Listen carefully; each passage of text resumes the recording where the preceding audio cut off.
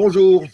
Alors, euh, quatre ou cinquième vidéo, je sais pas, je vais arrêter de les compter euh, en début de lecture, ça sert à rien. Enfin, ça sert un peu, mais pas. Mais je me suis trompé, donc euh, on va abandonner cette méthode-là. Et ce qui est sûr, c'est que c'est donc les West Penn Paper 15 et qu'on en était au chapitre 4.3 appelé Syncrétisme et l'Empire babylonien et que je vais attaquer. Sur cette euh, image euh, d'une formule magique écrite euh, sur un bout de cuir qui est daté du 4e siècle avant Jésus-Christ. Donc ils ont ici, vous voyez, là, les, les caractères écrits. Et on arrive à lire Amen, là, par exemple. C'est assez bizarre. Donc, au IVe siècle avant Jésus-Christ, il y avait donc cette forme de lettre.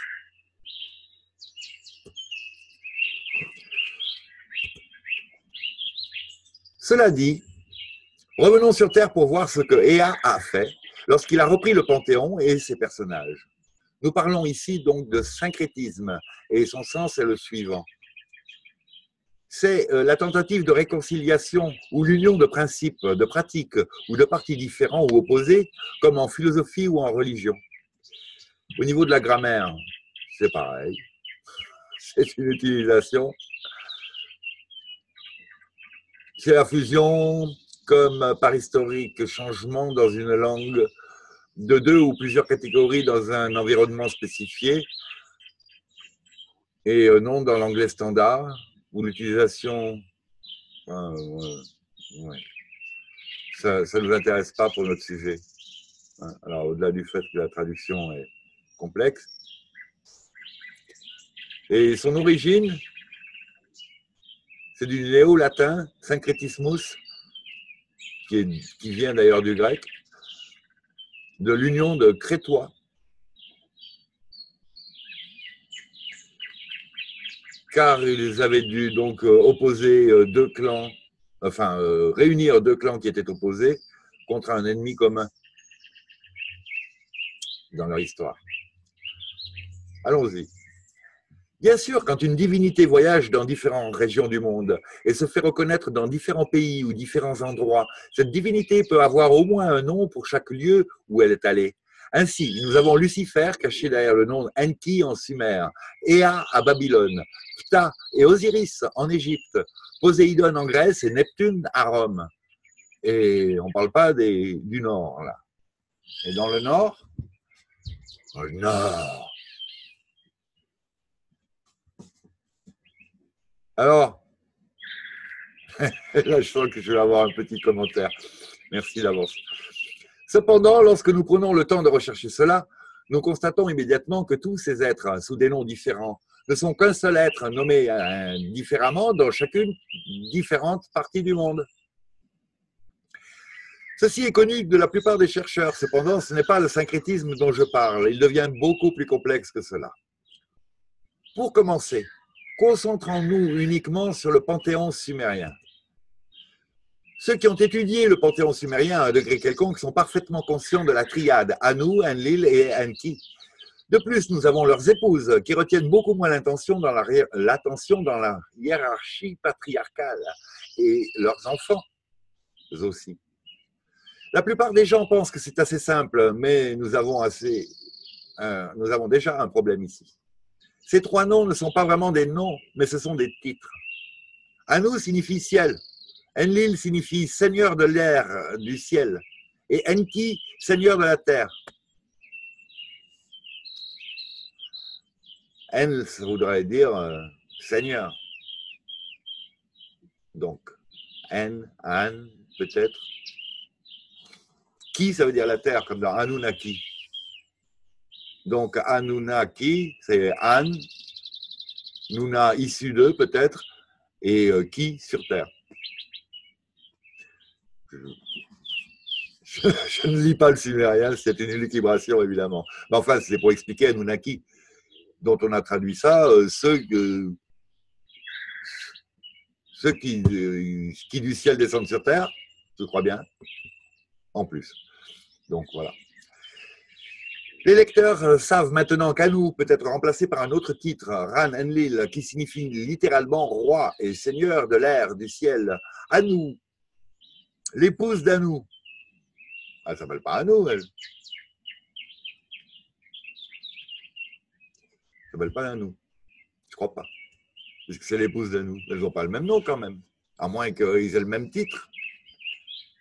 Signifie ciel-femme. Ah bah, bah oui, euh, j'ai rien dit, évidemment. Plus d'un.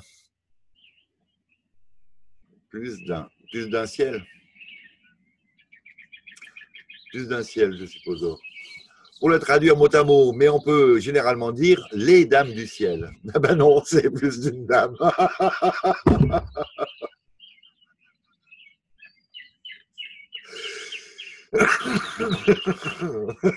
Je suis doué, hein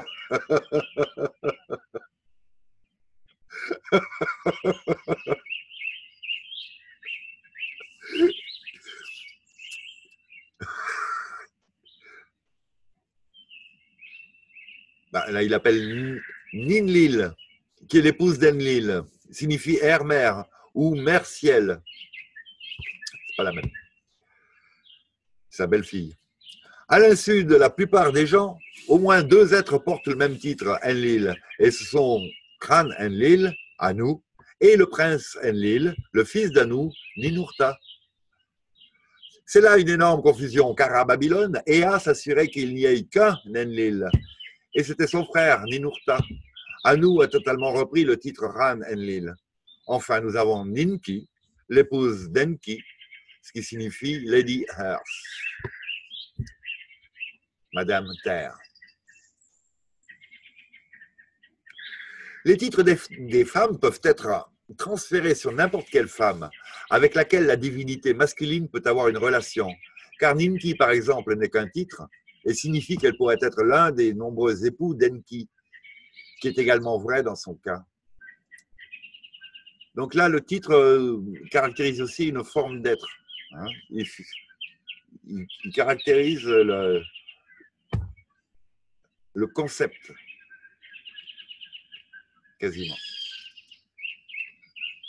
Jusqu'à présent, nous avons résolu le problème de la confusion Enlil, mais nous devons être très prudents lorsque nous examinons les références dans la mythologie pour nous assurer que Enlil est adressé le père Enlil à nous et ou le prince Enlil, Ninurta. Le simple fait de mentionner Enlil dans la référence ne fait pas nécessairement référence à Prince Enlil. Pour savoir à qui il fait référence, nous avons besoin de plus d'informations. Est-ce qu'il mentionne qui est le conjoint, qui est son fils, sa fille? Cela peut être un travail de détective très fastidieux.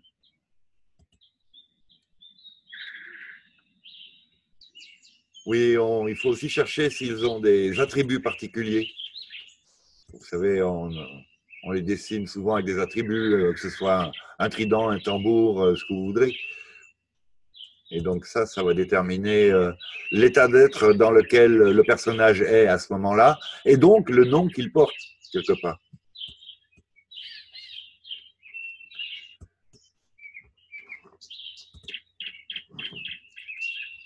Afin de prendre en charge les personnalités du Panthéon, Ea devait associer à elle, qu'il s'agisse d'un homme ou d'une femme, il s'assurait qu'il soit associé aux deux.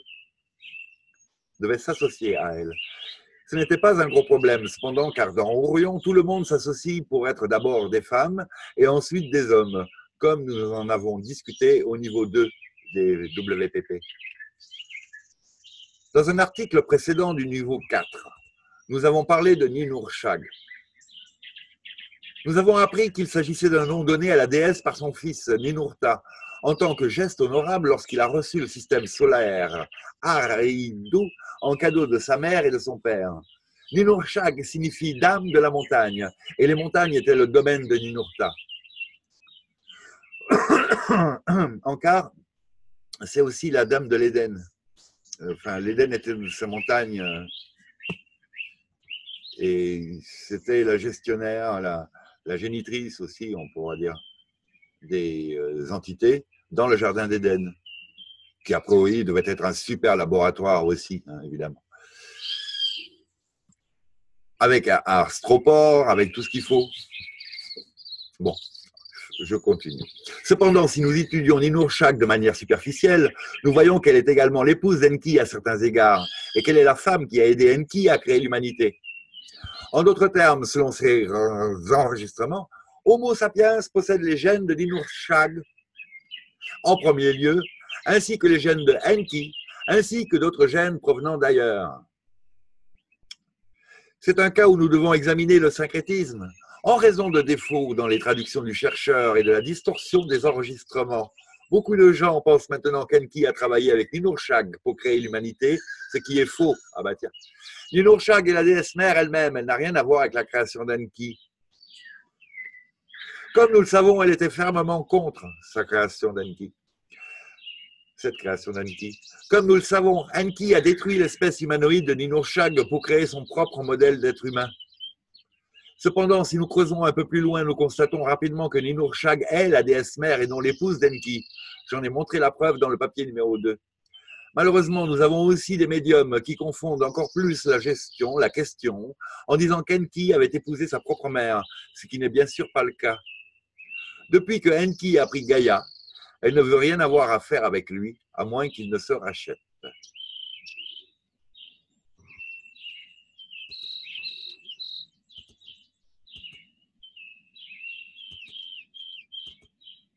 Oui, elle pardonne. Elle est maternelle. Et ça, c'est la preuve qu'on a aussi des architectures polygonales à Keramikos, qui doit être dans le pays Hélène.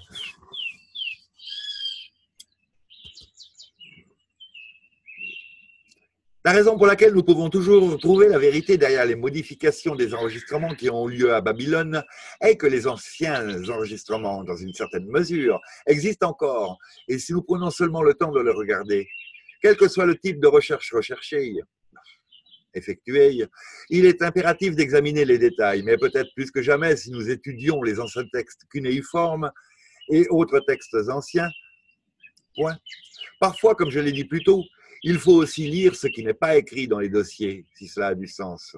Lire entre les lignes, donc. Quoi qu'il en soit, en s'associant à la déesse via Nienrushag, Ea s'est un peu rapproché pour s'associer également à Satania, les sanctuaires intérieurs de l'Empire d'Orion plus tard, après avoir été castré par son frère Arigel. Ea a revêtu le manteau de la déesse et est devenu féminin, parce que nous pourrions appeler un changement de sexe interdimensionnel. Ah bah, interdimensionnel, euh, non. Justement, euh, s'il avait fait l'interdimensionnel, là, euh, il aurait retrouvé son sexe. Je ne comprends pas, mais enfin bon, excusez-moi. Dans l'histoire d'Artémis, si le lecteur se souvient d'un article précédent, Enki s'est également revêtu de la déesse et l'a fait dans d'autres circonstances également qui ont été examinées dans ces articles.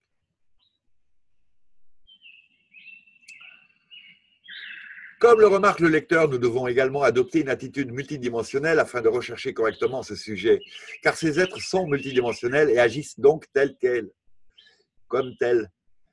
C'est pourquoi j'ai passé tant de temps à expliquer la multidimension sous différents angles dans ces articles précédents. Si je ne l'avais pas fait et si le lecteur ne l'avait pas étudié ailleurs, il aurait été déjà perdu. Lorsque nous creusons plus profondément dans cela dans le Panthéon, en quart, et il est d'autant plus perdu que je ne lis pas les, les West Penn Pepper dans l'ordre chronologique. Mais bon, son ordre chronologique n'est pas forcément euh, la chronologie euh, de l'histoire. Il me semble qu'il raconte l'histoire sous, effectivement, comme il le dit, plusieurs angles différents, qui donc euh, Bon, ben, rajoute un petit peu au mélange, hein, mais bon, ne font pas de ma démarche quelque chose d'original, à coup sûr.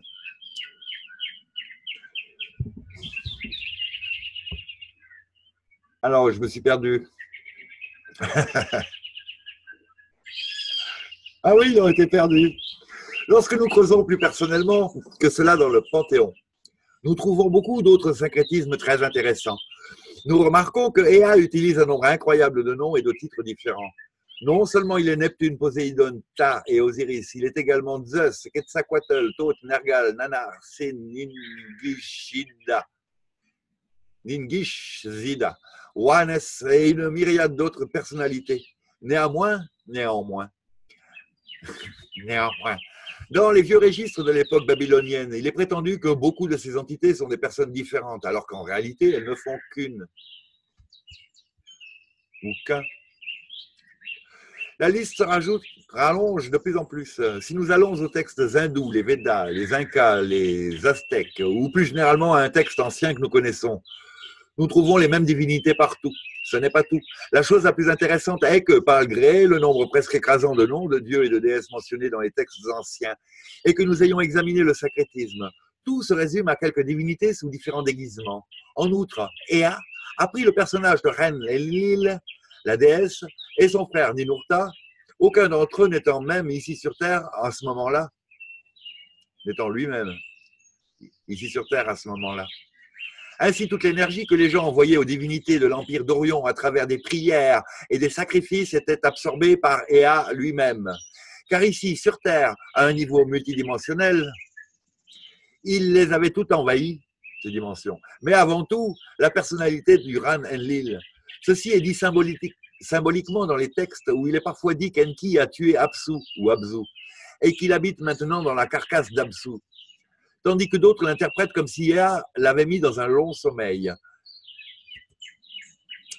Sachez que l'original Apsu, le Ran Enlil, est toujours en vie et en bonne santé comme lorsque Marduk avait tué symboliquement Tiamat et A avait tué Apsu. Les deux incidents sont symboliques. Lorsque Lucifer est arrivé et a repris notre système solaire et a chassé les planificateurs originaux, Ea a tué Apsu. Les deux. Sans trop ennuyer le lecteur, j'aimerais ajouter quelques références pour bien faire comprendre mon propos. Apsu était connu pour être Han Enlil, comme on peut le voir dans de nombreuses références.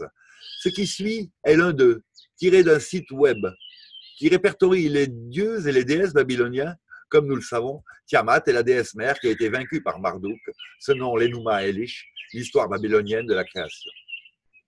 Apsu, le père babylonien Apsu, est le mari de Tiamat, le souverain des dieux et des océans de la pègre. Père de l'Armou, Lahamou, ou père de l'Ahamou, Lahamou, Anchar et Kishar, et a la tué. Ensuite, nous verrons si nous trouvons une référence pour Enki, qu'il assume désormais le rôle d'Apsu et se présente ainsi comme euh, le Dieu Père, le souverain de l'univers. Ben, dans la mesure où il prend sa, fonction, on va comprendre.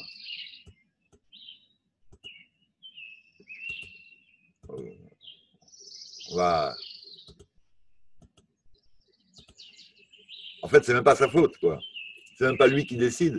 Il prend la fonction, il prend le nom. A priori. Ah, vous aimeriez bien savoir d'où viennent toutes ces photos. Je crois que ça vient de Crète, mais j'en suis plus sûr du tout.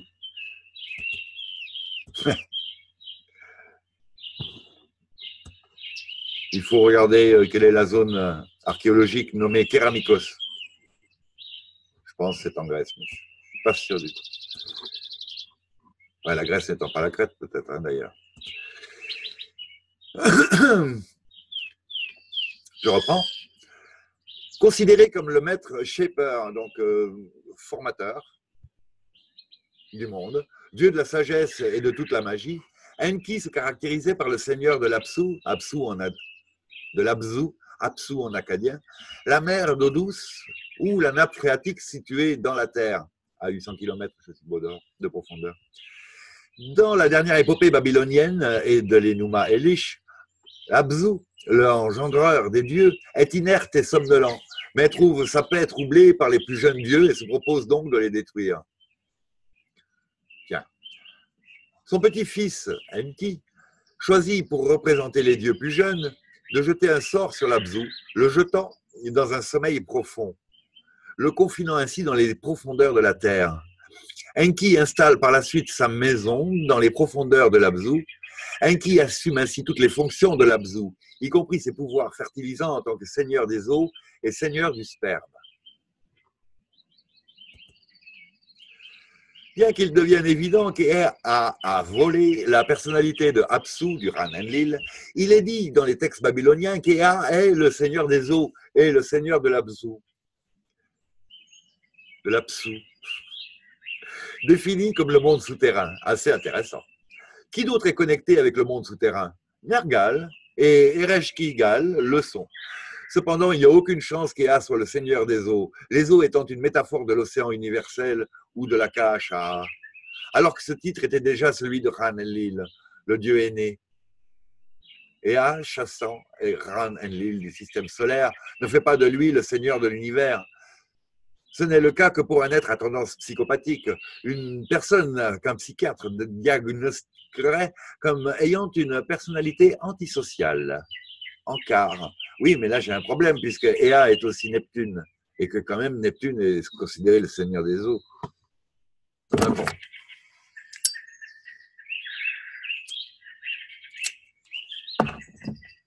Neptune, Poséidon. Euh.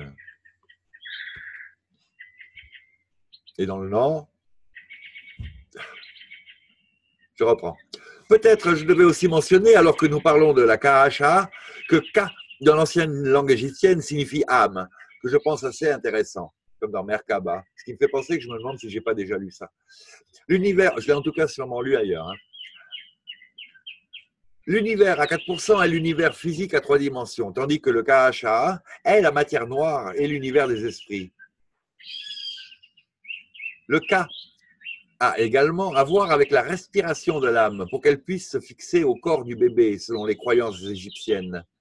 Si vous vous en souvenez, la déesse a expiré l'univers au début, comme indiqué dans le niveau 2.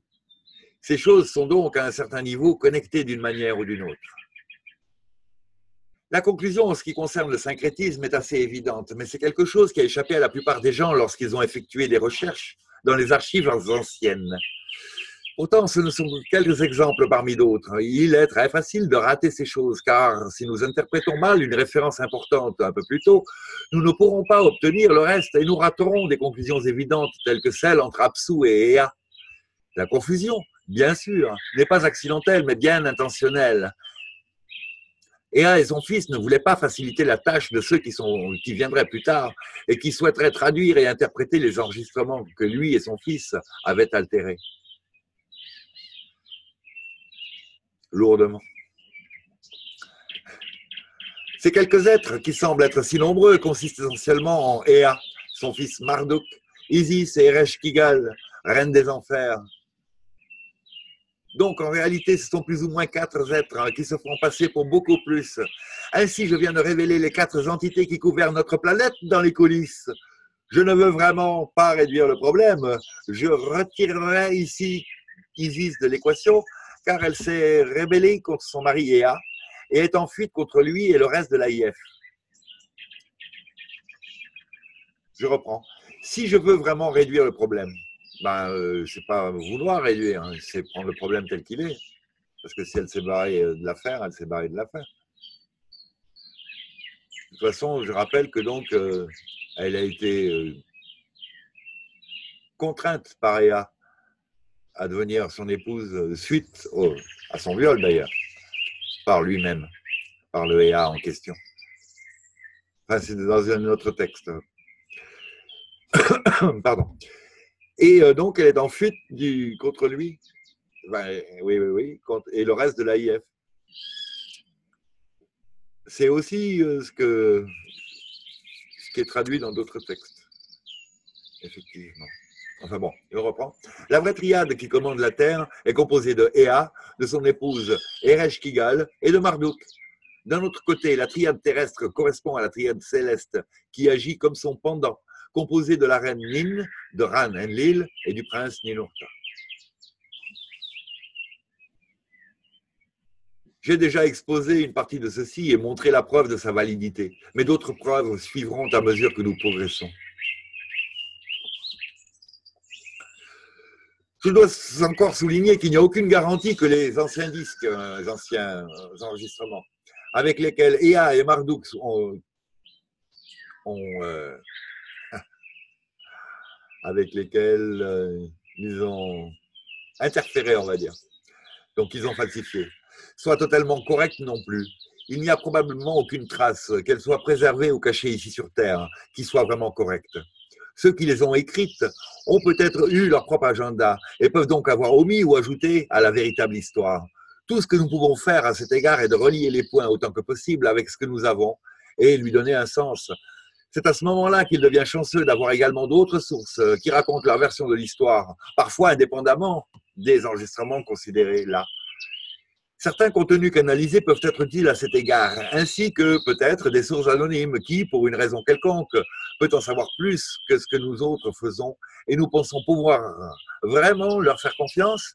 Il y a bien sûr toujours une possibilité de tromperie qui entre en jeu, mais parfois il y a, ce sont des outils que nous pouvons utiliser pour voir si une source est authentique ou non. Et quoi que les autres en pensent, la personne qui possède cette source authentique sait parfois qu'il s'agit d'une source authentique et ne se préoccupe donc pas excessivement de ce que les autres pensent. Il est de fait que quand vous arrivez à un raisonnement qui finit par tenir debout, même s'il y a certaines euh, interactions négatives ou euh, antithèses avec euh, d'autres hypothèses, vous allez garder cette trame-là comme possibilité en tout cas. Bien, écoutez, est-ce que ça fait longtemps que je parle là? Est-ce que ça fait longtemps que je peux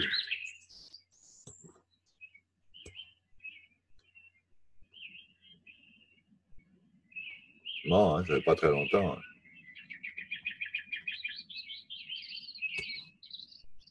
On va en lire encore un petit bout.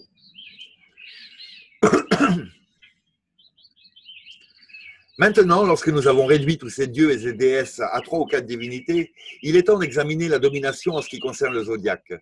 Sitchin et d'autres disent que différentes divinités ont régné à différents âges du zodiaque. Par exemple, Yahvé a régné à l'ère du bélier. Et maintenant, lorsque l'âge du Verseau approche, beaucoup pensent que c'est l'ère de Ea, Aquarius, équivalent à O, ou à Do, ayant un rapport avec l'eau. Oui, c'est important en latin et en grec parce que euh, il y a le datif, le génitif, euh, euh, l'accusatif. Donc il y a des, des, modes de conjugaison qui caractérisent en fait la fonction de la personne du coup si ça a un rapport à, lui, ou au venant de lui, ou autour de lui. J'espère que vous m'avez compris. Et donc, ils attendent que Ea se présente sous, un, oh, pardon, un déguisement ou un autre.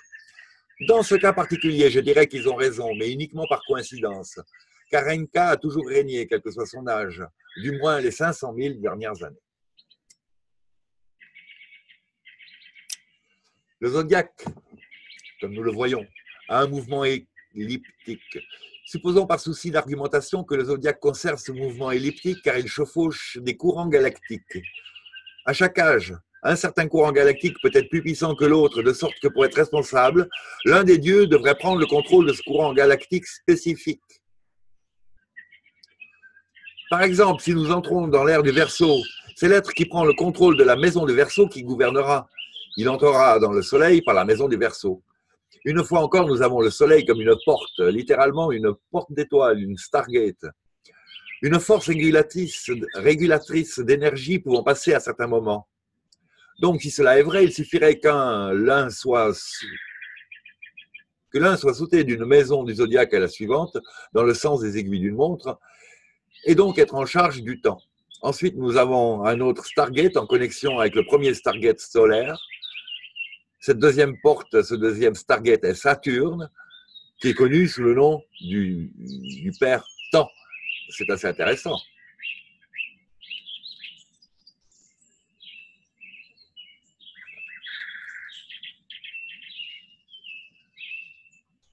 Je fais un encart là parce que donc euh, pour euh, les tenants euh, de l'univers électrique,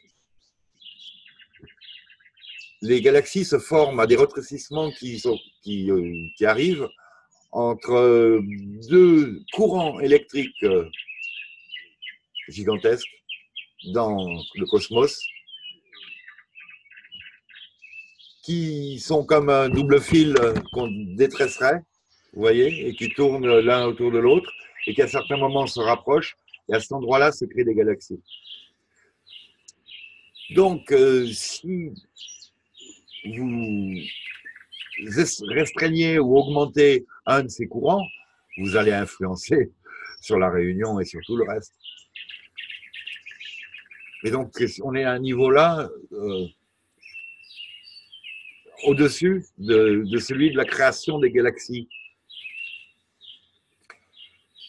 Et voilà, hein, ça permet d'être euh, créateur d'une galaxie. Et c'est peut-être le stade 5 des quatre stades que peuvent avoir les civilisations dans l'espace. Vous savez, on, est presque au stade numéro 1. On, arrive presque à avoir le contrôle de la planète. Il faut voir dans quel état. Il faut voir comment. Et euh, croire contrôler en plus. Mais vous savez, euh, a cette théorie, enfin il l'a repris de quelqu'un d'autre, hein, mais il l'explique. Euh, un, c'est la, la, maîtrise de la Terre. Euh, niveau 2, c'est la maîtrise du système solaire. Niveau 3, la, maîtrise de galaxies. Enfin, je me suis trompé là, j'ai l'impression, mais euh, c'était juste pour faire un petit encart. Dans cet esprit, qui serait le cavalier entre les maisons? La réponse est bien entendu Lucifer, Enki Ea. Comme je l'ai déjà mentionné, beaucoup s'attendent à ce que Ea revienne maintenant à l'ère du Verseau, car Aquarius équivaut à de l'eau. Mais qu'en est-il de Pisces, P6, le poisson? Le panneau que nous allons quitter, cela n'équivaut-il pas à l'eau et au poisson? Qui est associé au poisson? Jésus-Christ. N'est-il pas approprié de, présumer alors que Ea et Jésus, Yesu ou Ea Zeus, sont la même divinité? Si tel est le cas, cela ne signifie-t-il pas qu'Ea était également responsable de Pisces, de Piscis, des poissons Bien que je prétende qu'Ea est aux commandes depuis environ un demi-million d'années, je pense que je dois le signaler car je n'ai pas vu beaucoup de personnes établir le lien ou si elles l'ont fait, elles l'ont peut-être écarté parce qu'ils ne veulent vraiment pas qu'Ea revienne très bientôt, pensant qu'il est le Messie de retour à l'âge du Verseau et qu'il ne pourrait donc rien avoir à faire avec poisson, ce qui est erroné, Pisces, ce qui est erroné. Cependant, si Ea apparaît sous le déguisement du Messie, ce sera la seconde venue dans la Bible, mais certainement pas la seconde venue attendue, car les personnes au bon cœur, par les personnes au bon cœur, Lucifer ne vient jamais avec la liberté, il vient avec l'esclavage. Enfin, on a plein de monde qui doit revenir là. On a l'antéchrist, l'antichrist, on a le Médi, on a, on a tous ceux qui vont se faire passer pour le Médi, on a, on a Jésus aussi qui n'est pas forcément le même Médi, ça dépend qui. Enfin, vous voyez que ça peut très bien être vraiment le même aussi, tant qu'à faire. Et surtout que euh, chercher encore un sauveur externe par rapport à, à, une lutte contre ses cousins, on va dire. C'est, on ne va pas changer de niveau, là. On ne va pas changer de statut, ça c'est sûr. Enfin, c'est sûr, ça semble euh, sûr. Oui, ce qu'ils sont en train de nous montrer sur ces photos, en fait, c'est qu'il y a deux styles très différents, avec des colonnes, par exemple, qui sont d'une pièce euh, et quasiment euh, très différentes des autres, gardées euh, à la vision des touristes. Et ce qui leur permet de donner ce qu'ils veulent comme données à propos de qui tenait le pays à l'époque. Oui, donc c'est à Athènes tout ce qu'on a vu depuis tout à l'heure. il y a une polémique euh, certaine sur le fait que les Grecs comme les Romains ont, repris des choses d'avant et se sont attribuées a priori souvent. Bon, je reprends, je reprends. Notre mythologie, bien sûr, parle aussi de ces zodiac jumpers, pardon, de ces sauteurs de, dans le zodiaque, qui ne sont en réalité qu'un seul être, Lucifer ou Osiris, comme le soulignent certaines sources. L'information du site euh, crystallink.com nous enseigne sur le ZepTepi. Vous êtes sûr que je n'ai pas déjà lu ça Je me rappelle même l'erreur euh, ou pas, parce que je, dis Christ, Crystal Link et non pas Sistalink, comme il est écrit, pensant qu'il y a une erreur d'imprimerie. Bon, ben, j'espère que ça vous plaît parce que sinon, ça doit être barbare. Avec la liste des dieux mythologiques que nous trouvons codés dans les récits de la création de l'expérience humaine, nous trouvons le Zeptepi dans le vide appelé time and space, espace-temps. Il y a ceux qui passent de la réalité à la réalité en créant les programmes avec lesquels les âmes font l'expérience. Ils se déplacent à travers le lieu appelé point zéro, où la matière et l'antimatière se confondent pour créer de nouvelles réalités. C'est le lieu où le positif et le négatif se rencontrent pour détruire la matière et recréer à nouveau. Zemtepi fait référence au temps premier, à une époque lointaine antérieure à l'Égypte ancienne. C'est un lieu d'éveil, un lieu d'oubli. C'est le début et la fin de tout et de tout.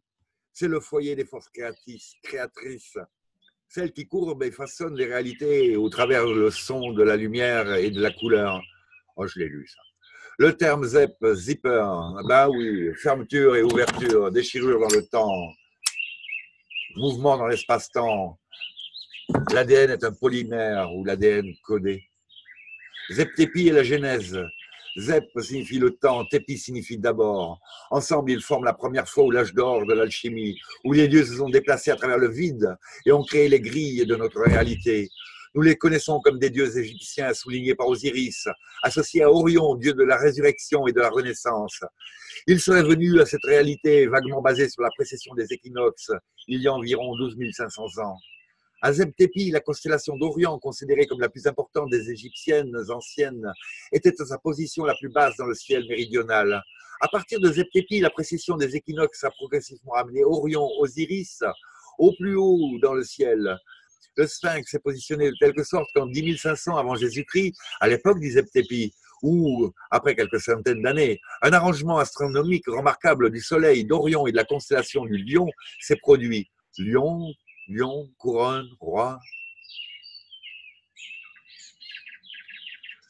Aker, Acher, Aker, signifie l'horizon, le point où la nuit se transforme en jour, où le jour se transforme en nuit. Zéro point ou Zeptepi. Il est représenté par deux lions assis dos à dos ou face à face. Ils sont aussi appelés hier et demain. Quand un lion fait face à l'est, l'autre lion fait face euh, à l'ouest où le soleil se couche, par rapport à l'est où le soleil se lève comme le nouveau jour. Et donc, quand il se couche, il part dans les enfers, par contre. Aker garde également la porte des enfers et l'ouvre pour le passage du roi. Nous trouvons également ce modèle sur le pectoral du sphinx et représente la dualité. Oui, le sphinx dispose euh, d'une sorte d'avancée en pierre qui, vu l'image de la caméra, se placera peut-être là pour vous, mais enfin bon.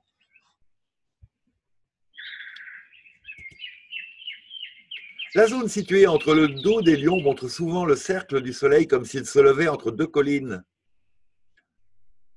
ce symbole qui est repris par tous les partis politiques et puis certaines sectes euh, ésotériques. Cela signifie également que le soleil parcourt le ciel pendant la journée et qu'il est transporté en toute sécurité à l'arrière d'Aker lorsque son dangereux voyage nocturne dans les enfers chaque nuit. Aker n'était pas véréné dans les temples en tant que Nettier. Il était peut-être plus connecté au concept primitif et au pouvoir de la terre. Et là, j'avais fait un encart entre Nettier et nature. Selon les mythes égyptiens de premier plan, les légendaires portes de l'au-delà étaient gardées par deux lions ou sphinx gigantesques appelés Aker. Dans les dessins des tombes du Nouvel Empire, l'Aker sphinx de la porte orientale se dresse fièrement avec ses pattes postérieures dans un creux. En dessous, on peut voir un curieux ruisseau ou conduit souterrain. Derrière les tours de Lyon se trouve un énorme monticule ou une pyramide, et sous celle-ci se trouve une grande chambre ovale qui semble être hermétiquement fermée. Dans cette mystérieuse chambre, il a été dit qu'il s'agissait d'un secret élevé, sans doute de la part des dieux qui ont gouverné le pays d'Égypte à une époque lointaine de Zeb-Tepi. La première fois. Cette étrange chambre s'appelait la chambre de Sokar à Rosto. La ressemblance avec le complexe du Sphinx à Gizeh est étrange. Gizeh, dans l'Antiquité, l'Antiquité se rappelait, se s'appelait, s'appelait Rosto. Sokar, une divinité à tête de faucon, a été identifiée comme étant Horus. Cette citation est pleine de bonnes références à ce dont nous avons parlé, et plus nous lirons, plus nous en trouverons. Chapitre 4.5 Nimrod et la tour de Babel.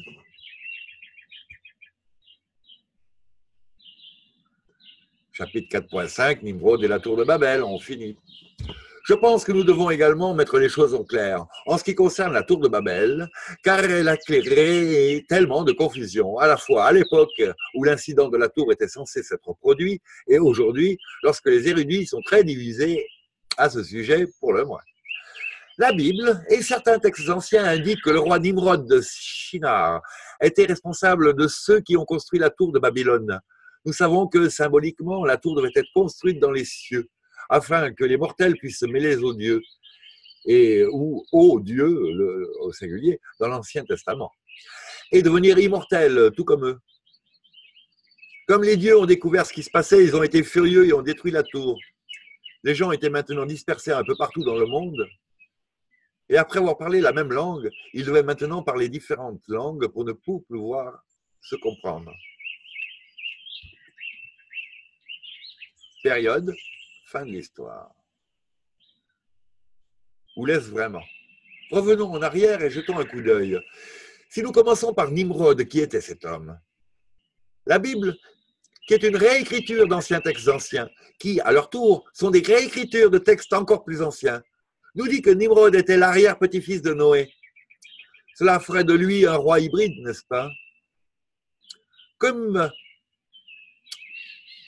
en quart. Jésus. Fin de l'encart. Moitié de sang et moitié humain. Euh, si nous prenons pour acquis que les petits-fils et petites-filles de Noé ont gardé la lignée propre. Non. Moitié, enfin, je reprends. Moitié de sang et moitié d'humain, si nous prenons pour acquis que les fils et petits-fils de Noé ont gardé, gardé la lignée propre. En apparence, c'est ce qu'ils ont fait. La question est de savoir si Nimrod était vraiment l'arrière-petit-fils de Noé. Si nous regardons dans les archives, nous voyons aussi qu'il est souvent répété comme étant grand ou un puissant chasseur. Ce sont des titres pour Ninurta et la déesse mère. Nous savons qu'aucun des deux n'était présent à l'époque. Nous pouvons comprendre que Ea a pris plusieurs personnages lorsqu'il a demandé à des scribes de réécrire l'histoire de Babylone et a même parfois revêtu des personnages de Ninurta et de la déesse, et s'appelait souvent lui-même le grand chasseur. En outre, Nimrod est décrit dans le Tanakh, Tanakh, la Torah orale juive, comme un homme de pouvoir dans la terre. L'homme de pouvoir sur la terre, le monde souterrain, était Nergal Enki. Ensuite, Shinar, sur lequel Nimrod était censé être le roi, était, selon les archives, une région indéterminée de la Mésopotamie, en d'autres termes, il était un roi sumérien. Cet ensemble semble mystérieusement similaire au, dieu Orion et Ea, au dieu d'Orion. Comme nous pouvons le constater, les indices sont toujours présents dans les enregistrements, mais ils sont remplacés par des informations plus récentes, notamment que Nimrod est le descendant de Noé, et par conséquent un roi hybride. Par conséquent, l'incident de la tour de Babel est imputé à un hybride qui n'a jamais existé sous la forme décrite, et le Dieu de la Bible est accusé d'être le furieux qui a séparé des personnes de langues différentes. Et si, avant le déluge, tout le monde parlait le même langage, qui était toujours le langage d'Orion, et dans certains cas, la télépathie? Encore, c'est ce que je pensais, moi, en fait. C'est qu'auparavant, tout le monde était télépathe, et que de par la suite, ils ont commencé à parler. Mais en fait, il y a une autre hypothèse qui pourrait être qu'il y a eu un tel traumatisme euh, lors de la destruction de la tour de Babel que les gens se sont retrouvés euh, en état de choc. Avec en plus le cerveau qui marche à l'électricité, ayant subi une super surcharge, comme ayant été rebooté quasiment, peut-être de temps en temps certaines bribes de savoir étaient restées. Donc, par la suite, les gens se sont servis de ce qui leur restait et euh, les mots ont dérivé euh, assez facilement, surtout s'ils se sont séparés. Séparés par le déluge. Ou enfin par les cataclysmes, la guerre euh, nucléaire qui a eu lieu et qui a fait fondre la tour, entre autres. Dans le coin, il y en a eu euh, du nucléaire, un gros paquet. Et pas que du nucléaire, d'autres armes encore plus terrifiantes qu'on ne connaît pas. Parmi lesquelles, a priori, celles qui arrivent à fossiliser, pétrifier instantanément, électriquement, des corps biologiques à base carbonée et transformée en base silicate. Hypothèse en quart. Je reprends. Comme nous pouvons le constater, ces indices, donc, euh, oui. Et si avant le déluge, tout le monde parlait le même langage, oui, c'est là que j'ai mis le mot en quart, j'ai l'impression, dans certains cas la télépathie, effectivement, enseigner euh, au Namlou primordial par Ninurta et le Enlil. Après le déluge, il a créé une nouvelle humanité sur laquelle il souhaitait un contrôle total. Ne serait-il pas plus facile de le contrôleur, pour le contrôleur de s'assurer qu'il existe, qu'il existe une barrière de langue entre les différentes personnes et différents pays afin qu'ils ne puissent pas s'unir facilement Ensuite, si nous examinons les indicateurs suggérant qui le roi Nimrod a pu être, nous avons un certain scénario devant nous. En quart, et alors là, s'il n'y avait pas eu des gens qui traduisent plusieurs langues en faisant des vidéos sur Internet et qui m'ont aidé à, me remettre à l'anglais, par exemple, ce qui me permet de faire pareil aujourd'hui, ça expliquerait aussi pourquoi ils ont mis tant de temps à balancer euh, des traductions euh, correctes, des traducteurs corrects euh, chez Google et autres. Parce qu'ils ne s'attendaient pas à ce que finalement maintenant, il y ait une certaine union des humains qui s'avèrent avoir le même niveau de conscience et de, désir pour une meilleure vie sur Terre et qui peuvent savoir ça grâce au fait que justement, grâce à Internet, ils savent que d'autres personnes ont, les mêmes euh, envies et, et ça, ça, nourrit l'égrégore de la libération de l'humanité, d'une certaine manière, à mon, avis, dirais-je. Bon, je reprends. Déjà que elle est longue, si en plus je fais des encarts sur les encarts.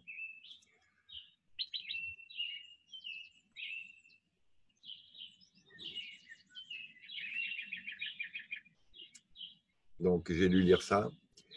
Toute la métaphore de la tour de Babel pourrait alors, hypothétiquement, si nous croyons en ces résultats, être Ea, jouant des deux côtés de la médaille et brouillant les langues chez les gens qui commençaient à devenir un peu trop intelligents et trop proches des dieux à la connaissance. Pardon, donc c'est vraiment notre situation actuelle. On se rapproche de toutes les connaissances ésotériques et occultes dont disposent les clubs secrets, on va dire clubs secrets, qui nous tiennent par le bout du nez en nous faisant croire en tout à fait autre chose pour notre évolution et notre capacité d'être, hein, on va dire globalement.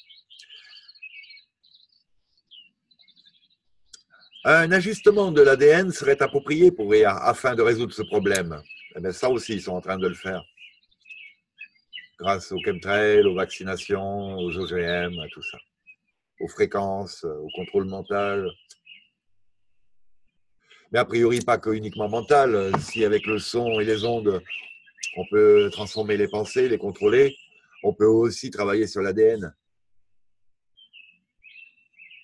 Donc, tant qu'on n'a pas le même niveau de compréhension de ce qui se passe vraiment, on croit qu'au CERN, ils cherchent une particule. Putain, une particule la plus petite. Ils ont dû le faire plus grand, le CERN, pour la trouver. Quoi. Je suis con, là. Ouais, ouais. Je suis très con. Heureusement, ça me soulage. Parce que finalement, d'être confronté à toute la situation, là, euh, ça, ça ravive certaines euh, excitations. Qui n'est pas encore l'heure de laisser s'exprimer, on va dire. Après tout, qui était devenu trop furieux lorsque les gens ont commencé à construire la tour dans le but de ressembler à des dieux? Eh bien, selon l'Ancien Testament, c'est Dieu lui-même qui est devenu furieux. Et sa solution était de confondre les langues. Alors, qui était le Dieu de l'Ancien Justement, c'était Lucifer, Enki et A.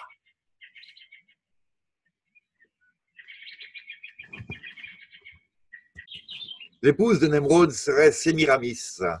Et si nous la recherchons, il est dit que son épouse était le roi Nimou, son époux,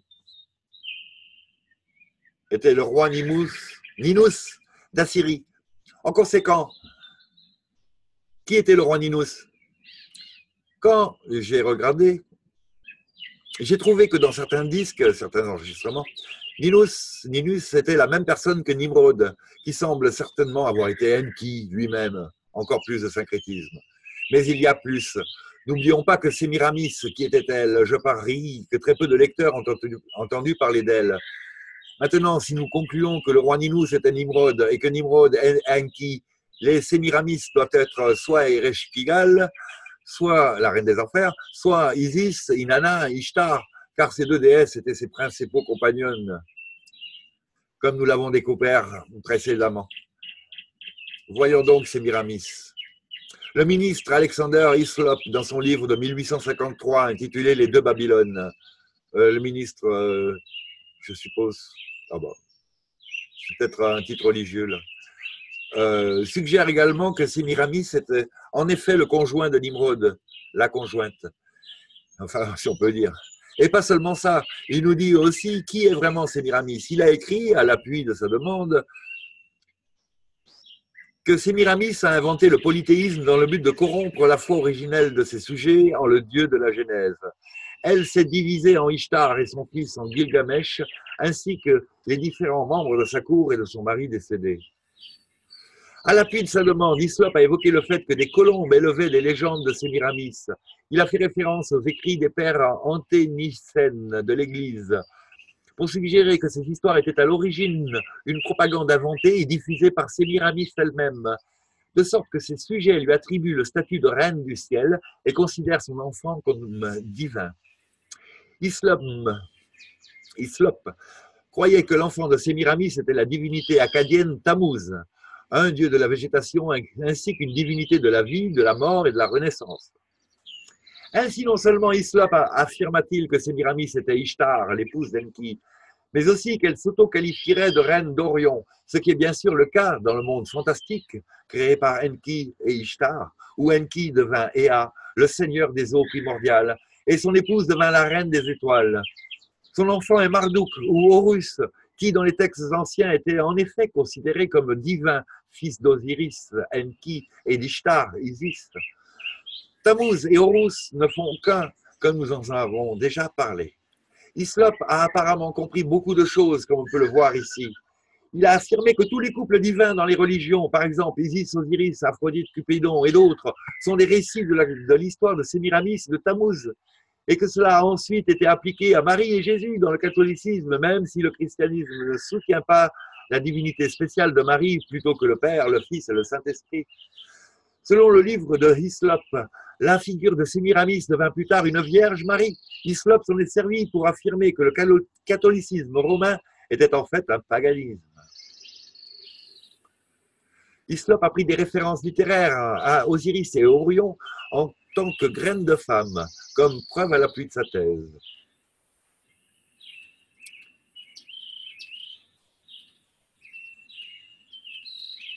Et il trouve ça assez étonnant du fait que c'était écrit en 1853. Ouais, je trouve ça étonnant. Enfin, Sémiramis, en tant qu'épouse de Nimrod, Enki était également considérée comme une prostituée. Qui d'autre était considérée comme une prostituée? Eh bien, nous la connaissons par la Bible, mais par aussi les Numa Elish, l'histoire babylonienne de la création, comme Inanna, Ishtar, Isis. Voici la légende arménienne.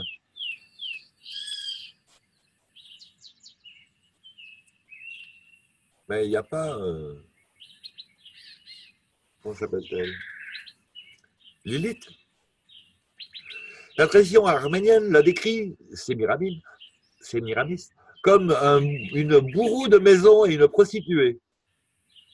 Ces faits s'expliquent en partie en observant que, selon la légende, Sémiramis apparaît dans sa naissance comme dans sa disparition de la terre en tant que déesse, fille de déesse, poisson, Atargatis, et elle-même liée aux colombes d'Ishtar ou d'Astarté. Dans cette tradition, elle est également la fille de la déesse poisson, Atargatis, qui, par syncrétisme, est associée à Ishtar et Inanna. Encore une fois, nous pouvons voir comment les enregistrements ont été altérés, car Sémiramis, Isis, ne peut pas être les deux, la fille d'Isis, Ishtar, et Isis elle-même. La confusion réside dans le fait qu'Isis n'était pas la fille d'Enki pour commencer, mais qu'elle était la fille de Ninurta, comme je l'ai déjà souligné. Cependant, Enki l'a pris comme épouse après l'avoir violée, et il la revendiqua également dans sa fille, comme sa fille, à tort.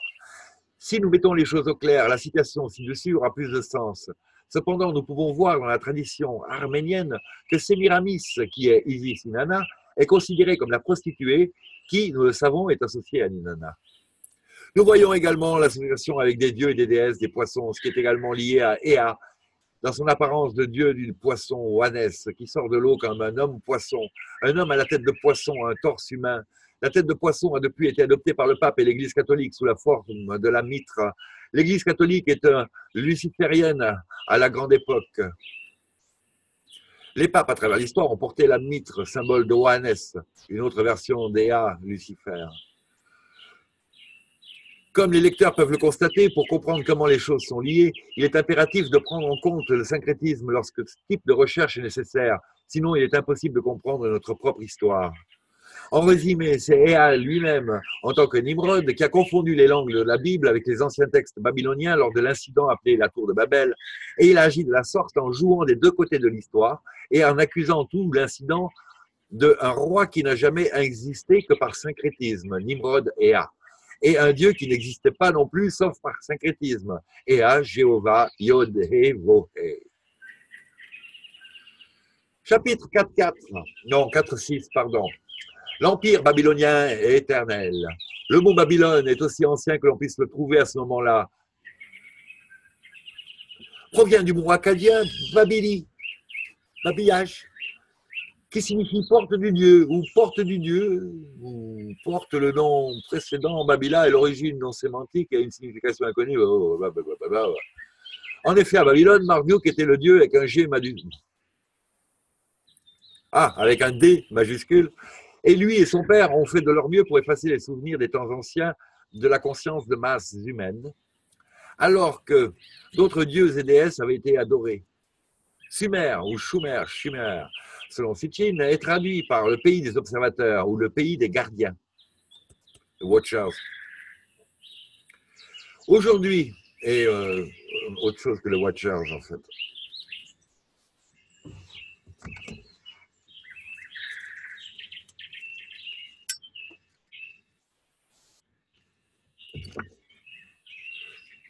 Je cherche, mais je trouve pas, c'est en anglais. C'est un nom en trois syllabes. Enfin bon, c'est pas très grave. Aujourd'hui, l'Irak est le lieu où se trouvait l'ancien empire babylonien avec sa capitale Babylone. Bien entendu, le but de la guerre en Irak et de la défaite de Saddam Hussein était de pouvoir accéder aux anciens artefacts sur lesquels il était assis et de pouvoir protéger ce qui était enterré selon les Pléiadiens dans bon nombre de leurs conférences. Les Anunnaki habitent toujours sous la terre et un portail vers les dieux est censé se trouver là où se trouve actuellement l'Irak? La raison pour laquelle les États-Unis avaient besoin d'accéder à la terre de Saddam à cette époque était parce que le temps s'épuisait et que le retour des dieux se préparait. L'Irak appartient toujours au domaine d'Ea et de Marduk.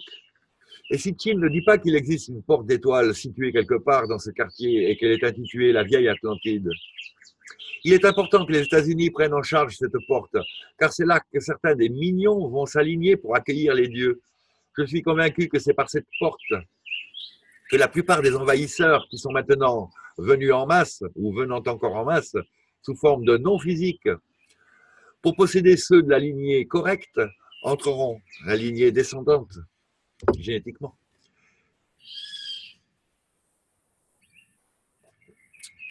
Saddam était probablement assez furieux de ne pas être celui qui voudrait accueillir les dieux majeurs.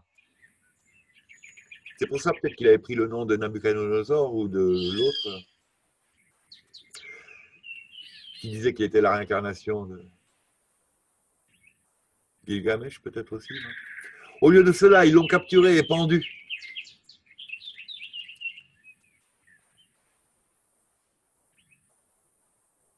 Allez. Ils l'ont peut-être pas pendu lui. Hein.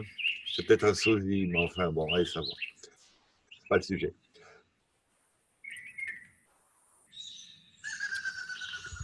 Cette porte a probablement été créée à l'époque babylonienne, en gardant à l'esprit l'avenir. Rappelez-vous que les dieux ont des pensées à long terme. Je pense que la plupart des historiens disent que l'empire babylonien a existé entre 2350 et 323 avant Jésus-Christ environ, et s'est achevé avec la mort d'Alexandre le Grand. Le dieu qui était souvent représenté avec des cornes comme ça, de bélier, parfois, sur certaines pièces de monnaie en tout cas. Peut-être certaines peintures ou gravures, mais là je suis moins sûr. Et en encart, euh, je vous avouerai que des gens comme ça, ça existe. On va dire. Fin de l'encart, c'est pas le sujet. Finalement, l'empire babylonien a migré et est devenu l'empire romain. Peu de choses ont été changées, les mêmes dieux ont été vénérés, seuls les noms ont changé, créant davantage de syncrétisme. Je ne parlerai pas de l'Empire romain et de tous les empires suivants, car tout le monde peut le faire s'il le souhaite. Si le travail de préparation était fait dans ces papiers, ces Western Paper, cela, devrait être un, cela devrait être un peu plus facile à faire. Cependant, ce n'est que l'histoire qui se répète, le même contrôle, le même genre de conflit et le même genre de guerre. Quand nous y réfléchissons, nous pouvons voir à quel point cela est pratique du point de vue des dieux lorsque nous sommes en amnésie, que nous pouvons apprendre de l'histoire que nous ne pouvons pas apprendre de l'histoire parce que notre durée de vie est si courte. Et la prochaine fois que nous reviendrons, nous avons oublié, nous aurons oublié tout ce qui s'est passé dans la vie passée, grâce au reboot de Tunnel Lumière, vous savez. Avec l'histoire manipulée et des êtres immortels dirigeant le spectacle, répétant l'histoire encore et encore, comment pouvons-nous être capables d'apprendre? À quoi ça sert, surtout? Nous savons seulement ce qu'on nous dit, c'est-à-dire pas la vérité, même loin de là. À quoi ça sert? Ouais, ça sert quand même à quelque chose. On se donne l'illusion qu'on va pouvoir réagir. C'est un peu stimulant. Sinon, il y aurait... Euh, ouais, je reprends. Y compris aujourd'hui, les mêmes divinités sont vénérées, de sorte que l'histoire reste la même. Dans ce sens, au fils des millénaires. Mais moi, je vous l'ai dit, il faut lire euh, Mauro Biglino, si les chrétiens, qui sont a priori ceux dont la mentalité est la plus ouverte et euh, euh, progressive vers une évolution, hein, euh, se rendent compte que ce livre est trué, est truandé, est traficoté, a été mal traduit et nous programme à une façon d'être, mais qu'en plus, il vient d'un autre livre qui sert de base à une autre religion et que de ce livre-là est sorti aussi des références vers une troisième religion, toutes les religions vont donc pouvoir faire ce pas, c'était eh, immense pas en avant pour l'humanité,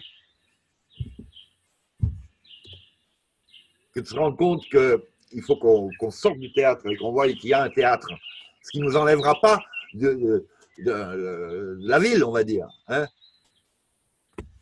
Ça nous fait juste monter d'un niveau et ça nous libère grandement. On peut faire autre chose que être au théâtre, euh, soit y jouer un rôle en ayant oublié qu'on joue le rôle, soit y jouer un rôle euh, et s'en satisfaire, euh, mais garder la mémoire, soit être juste spectateur, soit être un des autres corps de métier qui tournent autour de cette activité merveilleuse qu'est le théâtre.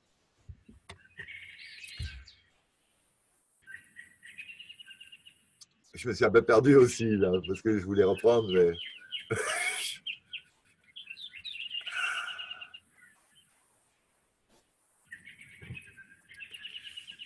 Babylone, sous quelque déguisement que ce soit, n'a jamais cessé d'exister.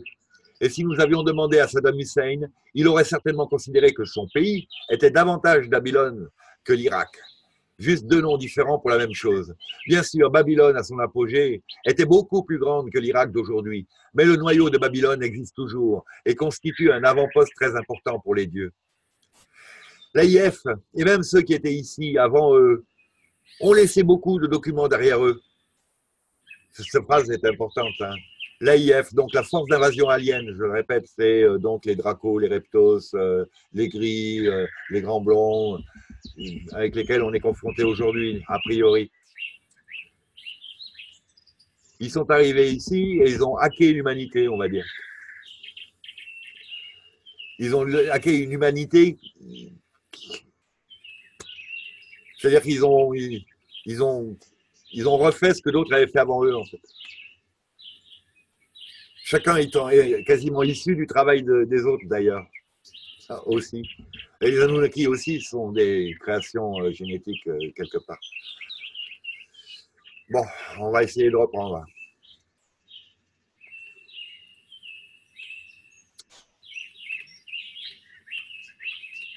Et donc, euh, donc, elle constitue toujours un avant-poste très important pour les dieux. Ah oui, oui, c'est ça. Ils ont laissé donc beaucoup de documents derrière eux. Certains ont été retrouvés, mais il en reste encore beaucoup qui sont enterrés dans l'attente d'un bon moment pour se révéler. Des traces ont été laissées dans les enfers, donc sous terre, hein, l'absou.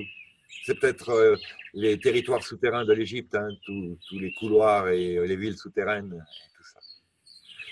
Donc euh, là, dans l'Antarctique, dans l'Afrique de l'Est et du Sud, l'Amérique, l'Amérique latine et du Sud.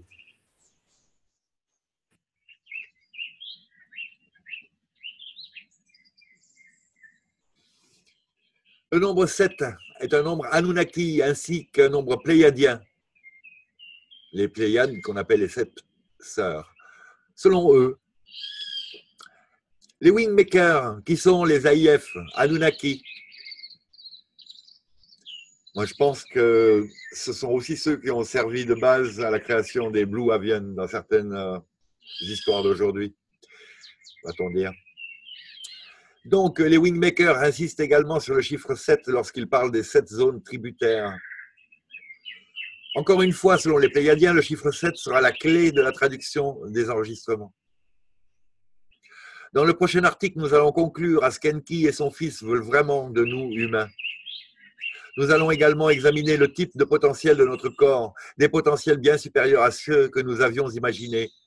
Qu'est-ce que la matière et qu'est-ce que l'esprit?